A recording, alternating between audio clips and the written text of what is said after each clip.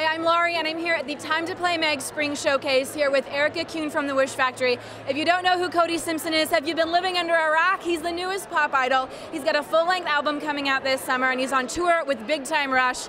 If you can't score concert tickets, you can definitely make up your own Cody Simpson concert with Cody Simpson dolls from the Wish Factory. What can you tell us about that? Yes, absolutely. We have four dolls out right now, two basic, which um, launched in December at Toys R Us.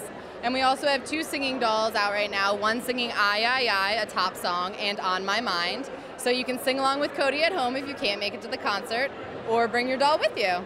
Excellent. Well, also for girls, you have a new Pop Girl line. Can you tell us a little bit about that? Yes, the Pop Girl line is all about fashion, hip accessories, and what's in the know right now, trending, um, all about self-expression for girls. So one of the lines out is Pop Girl Nail Charms, which were inspired from the Harajuku nails in Japan. Um, they're 3D nail art. They have three basic lines and a whole license line, which includes Blow Pop, Tootsie Roll, and Gummy Bears, all scented.